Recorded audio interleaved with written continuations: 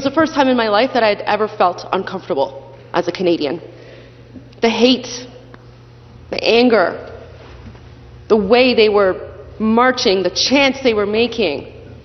That's something you see in the Islamic regime in Iran. You do not see that in Canada. That's the kind of behavior you see in, in, radical fundamentalist countries, not in Canada. That is not the Canada that my parents immigrated to. I don't go to protests calling for genocide. I don't attend protests where I say from the river to the sea, and I can't even finish that sentence because it is abhorrent and vile. And to anyone who says these are peace rallies,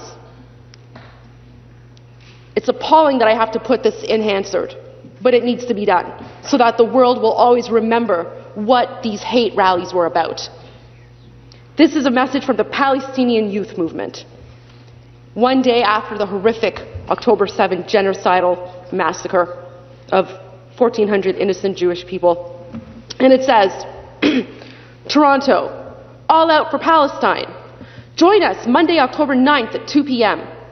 An unprecedented series of events has taken place by our heroic resistance in Gaza, with over 30 Zionist hostages captured, the fall of settlements surrounding Gaza, and the prison break that destroyed the fence that has been entrapped, entrapping Gazans for over 17 years. The resistance's offensive attack has shaped a new precedent for our national liberation struggle, and we remain steadfast in our right to resist by any means necessary. We call on our people in the far diaspora in Toronto to uplift and honor our resistance and our martyrs. Join us this Monday, October 9, at 2 p.m. at Nathan Phillips Square and celebrate our steps closer to liberation. Shameful. Shame. When my parents immigrated to Canada in 1986, I was a year old. And the reason that they immigrated to Canada from Iran is because uh, in 1979 there was um, an Islamic revolution, and our once free and democratic country was taken over by radical Islamists, um, was taken over by terrorists, and was taken over by fascists who um, actually executed over 40,000 communists in the late 80s. Um, and so my parents escaped in 1986 because they wanted to live in a free and democratic society. And I was a year old at the time.